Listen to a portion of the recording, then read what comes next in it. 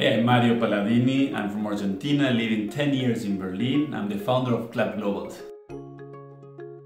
We're helping all these international people to make the international life easier.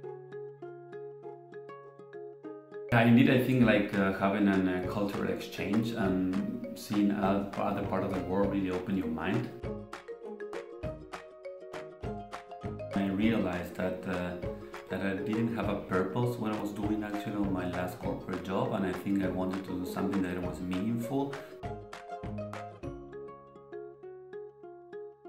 There are people who are open-minded, global minds, that they travel around and they want to feel at home everywhere. I always say myself, uh, I think German, I speak English, but I feel Latin.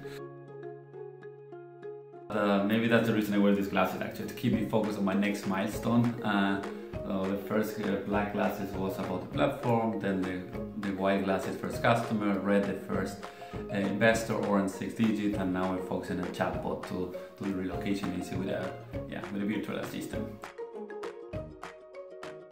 Yeah, you always have as a startup at the beginning um, up and downs, as I mentioned, the roller coaster.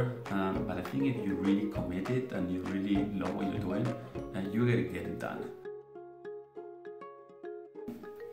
Think what really inspired me is to make this international life easier. Uh, for us, you get responsibility from day one actually, so really count on you to make things happen. So you're the owner of your own project, you, you drive actually teamwork with other people online, offline as well, and we're always pushing you to go um, to the next level as well.